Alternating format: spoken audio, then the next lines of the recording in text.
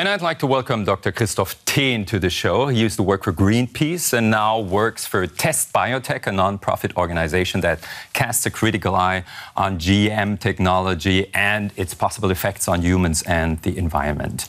Now, how would you actually judge it? What's better, genetic engineering or the massive use of insecticides?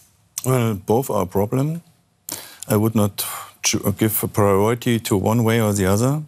There are massive problems with the olive flies, especially under certain climate conditions, like this year. You will have massive attacks on the olive flies, and we do not have a patent solution, a final solution for this problem in the end. If you are starting with genetically engineered olive flies, you will have the problem that you cannot keep them under control. They will fly above borders. They will go to the organic uh, farmer, and you never can withdraw them from the environment if something goes wrong. Mm -hmm. So this kind of long-term exposure to the environment and long-term risk is not there with insecticides. There are other risks with insecticides. Yeah, of course. Their ecological risk, their consequences for the ecology are pretty disastrous. So if you have to judge it, you'd really say we at the time right now, we'd rather use insecticides? I would rather go to the um, concept of the okay. organic farmer, maybe.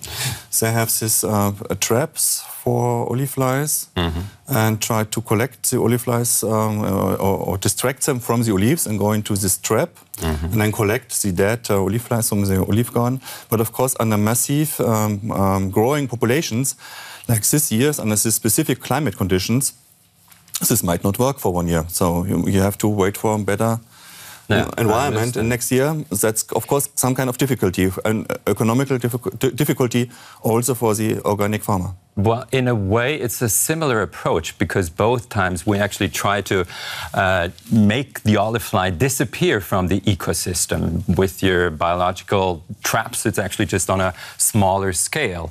So, um, what do you think? Um, would it be disastrous for the ecosystem if there was no olive flies anymore? I think we have to work with biodiversity and not try to extinct a certain species. If the concept of Oxitec would be right, this would be, mean in the end that the olive fly will disappear completely. As long as they're genetically engineered olive flies, they will mate with the native population. So in the end, the concept is distinction. Mm. And I don't think we have the right, ethically, we do not have the right to, to, to distinct a whole species just of economic reasons. Yeah.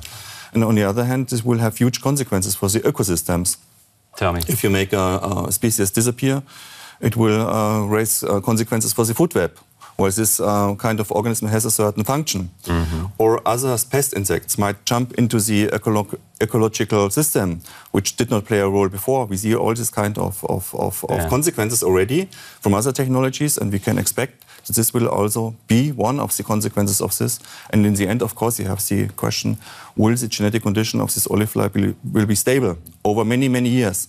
You don't know when the experiment will end. It Will it be stable for 100 years? We don't know. Actually, we, we, have, we have lots of experience with genetically modified organisms in the field of plants. I mean, in large parts of the world, the corn plants, soy plants have been genetically uh, modified, um, and we haven't seen those dramatic uh, consequences for the ecology.